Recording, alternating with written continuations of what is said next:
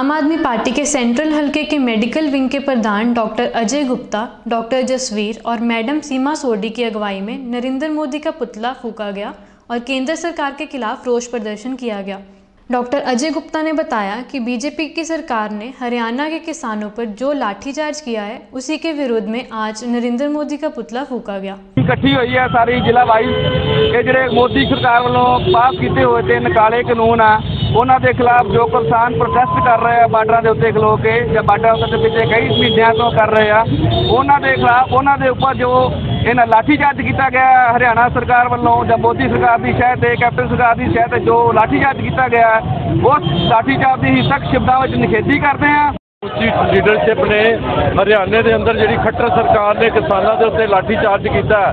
ਇੱਕ SDM level ਦਾ ਬੰਦਾ ਆ ਕੇ ਆਰਡਰ ਕਰ ਰਿਹਾ ਹੈ ਕਿ ਤੁਸੀਂ ਜਿਹੜਾ ਕਿਸਾਨਾਂ ਦੇ ਸਿਰ ਦੇ ਵਿੱਚ ਲਾਠੀਆਂ ਮਾਰਨੀਆਂ ਸੋ ਮੈਂ ਇੱਥੇ ਇਹਨਾਂ ਨੂੰ ਪੁੱਛਣਾ ਚਾਹਨਾ ਕਿ ਇਹ ਜਿਹੜੀਆਂ ਸਿਰ 'ਚ ਲਾਠੀ ਮਾਰਨ ਦਾ ਮਤਲਬ ਹੈ ਕਿ ਤੁਸੀਂ ਇਹਨਾਂ ਕਿਸਾਨਾਂ ਨੂੰ ਮਾਰ ਦਿਓ। ਇਹ ਜਿਹੜੇ ਤਾਲਿਬਾਨ ਫਰਮਾਨ ਹੈ, ਹਿੰਦੁਸਤਾਨ ਦੇ ਵਿੱਚ ਜਿਹੜੀ ਹੈ ਮੋਦੀ ਸਰਕਾਰ, ਇਹ ਅਸਲ ਜਿਹੜੀ ਹੈ ਪੂਰੀ ਡਿਕਟੇਟਰਸ਼ਿਪ ਚਲਾ ਰਹੀ ਹੈ ਆਪਣੀ ਔਰ ਇਹ ਡਿਕਟੇਟਰ ਡਿਕਟੇਟਰਸ਼ਿਪ ਦੇ ਤਹਿਤ ਜਿਹੜਾ ਐਸਡੀਐਮ ਦੀ ਕੀ ਔਕਾਤ ਹੈ ਕਿ ਉਹ ਆ ਕੇ ਕਵੇ, ਜਦ ਕਿ ਪੁਲਿਸ ਦੇ ਮੈਨੂਅਲ ਦੇ ਵਿੱਚ ਇਹ ਲਿਖਿਆ ਹੋਇਆ ਹੈ ਕਿ ਅਗਰ ਕੋਈ ਜਿਹੜੀ ਭੀੜ ਹੈ ਜਾਂ ਕੋਈ ਪ੍ਰੋਟੈਸਟ ਹੈ, ਉਹ ਪੀਸਫੁਲੀ ਚੱਲ ਰਿਹਾ ਤੇ ਤੁਸੀਂ ਉਹਨਾਂ ਨੂੰ ਕੁਝ ਕਹਿ ਨਹੀਂ ਸਕਦੇ। ਮਦਭਾਗੀ ਘਟਨਾ ਆ, ਕਿਸਾਨ ਆਰਾਮ ਨਾਲ ਬੈਠੇ ਉਹਨਾਂ ਤੇ ਇੱਕ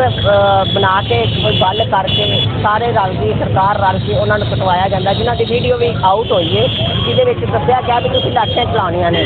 ਇਹ ਬੜੀ ਮਦਭਾਗੀ ਘਟਨਾ ਆ। ਦੇਖੋ, ਉਸ ਤੋਂ ਪਹਿਲਾਂ ਬੀਜੇਪੀ ਦੇ ਗੁੰਡਿਆਂ ਨੇ ਰਾਜਕੋਟ ਬੀਬੀ ਨੂੰ ਕੁੱਟਿਆ, ਉਹਦੀਆਂ ਗੁੱਠਾਂ ਪੱਟੀਆਂ। ਉਸ ਤੋਂ ਬਾਅਦ ਅਸੀਂ ਚੰਡੀਗੜ੍ਹ ਪ੍ਰੋਟੈਸਟ ਕੀਤਾ ਬੀਜੇਪੀ ਦੇ ਆਫਿਸ ਦੇ ਬਾਹਰ। ਉਹਦੇ ਤੇ ਸਾਡੇ ਤੇ ਪਾਣੀ ਦੀਆਂ ਉਛਾਰਾਂ ਤੇ ਡੰਡਿਆਂ ਨਾਲ ਕੀਤਾ ਗਿਆ। ਇਹ ਅੰਤ ਹੁੰਦਾ ਹੈ। ਜਦੋਂ ਕਹਿੰਦੇ ਨੇ ਨਾ, ਬੰਦੇ ਦਾ ਅੰਤ ਹੋਣਾ ਨਾ ਵਿਨਾਸ਼ ਕਾਲੇ ਵਿਕਸਿਤ ਬੁੱਧੀ, ਉਹਦਾ ਦਿਮਾਗ ਕੰਮ ਕਰਨਾ ਬੰਦ ਕਰ ਦਿੰਦਾ।